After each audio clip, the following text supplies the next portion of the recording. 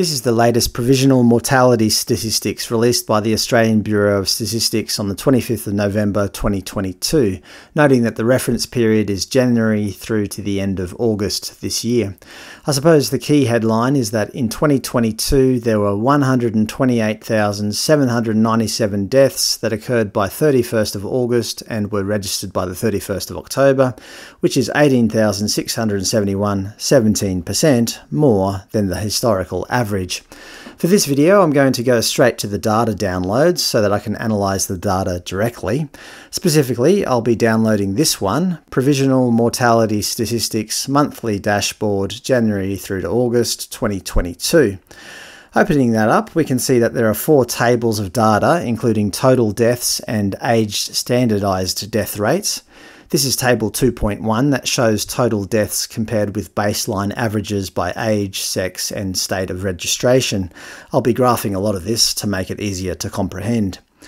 Here's a graph showing the total deaths for 2022 so far, shown in red. The orange line represents the baseline average, which is the average number of deaths between 2017 and 2021, excluding 2020. According to the ABS, deaths in 2020 were significantly lower than expected, and therefore their inclusion would significantly lower the average and therefore would artificially indicate higher than expected mortality. But even with that exclusion, we can see there are still significant excess deaths for every month this year. If we take out the COVID deaths, as many statisticians are doing, then we can still see that every month has experienced excess deaths. These excess deaths are not occurring due to COVID, well, at least not that we know of.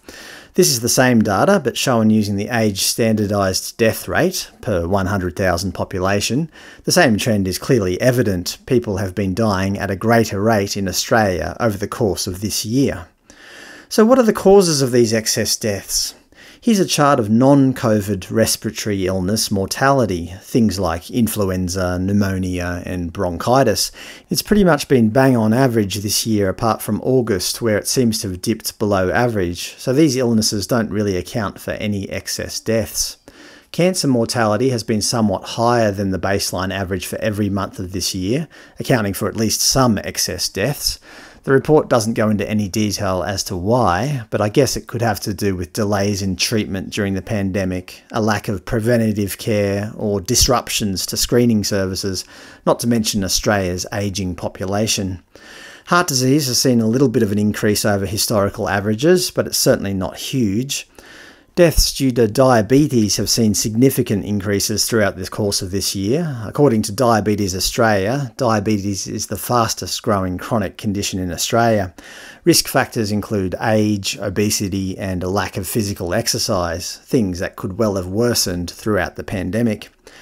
Cerebrovascular disease, stroke, has been pretty much hovering around average this year, although it's experienced a bit of a drop off in the latest reporting period in August. Dementia has been one of the biggest contributors to excess deaths this year.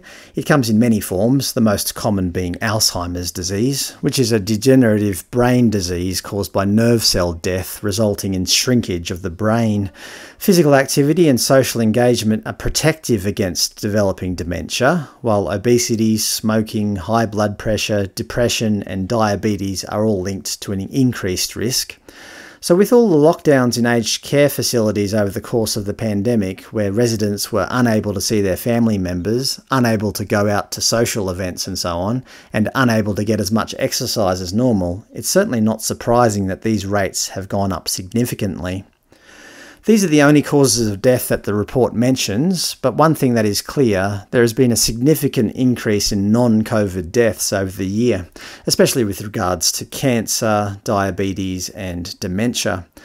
Thank you for watching this presentation. Hopefully, society learns from this pandemic and realises that not all preventative measures are good ones.